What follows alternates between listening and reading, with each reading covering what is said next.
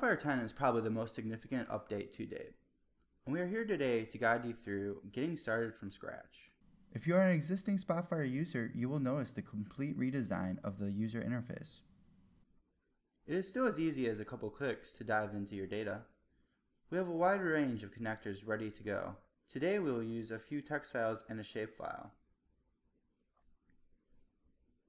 We can easily import all of the files at once, and as, as we review the data, we can make any changes to data types, but Spotfire is very smart on doing that for you.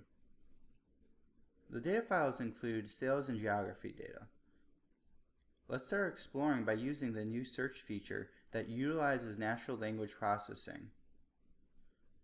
Let's search for profit by subcategory.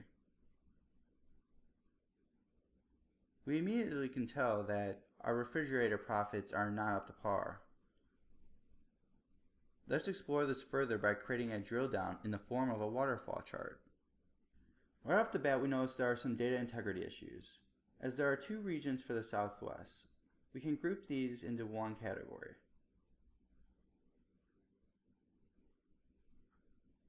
Reviewing the waterfall chart, it's pretty apparent that the Northeast region is deep in the red for the refrigerators.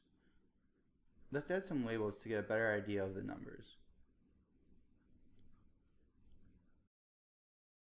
We will create another drill down, this time into a scatter plot to see what cities are responsible. We can easily drag and drop the different visualizations for better viewing. SpotFire 10 automatically realized there were data relationships in the different data files that we imported. This allows us to show the cost of goods in this visualization even though it is from a different table. Then, by marking by a city, we see that Philadelphia is losing a lot of money on the cost of goods for refrigerators. Let's dive deeper and see what the Spotfire recommendation engine suggests. A map chart is a great idea.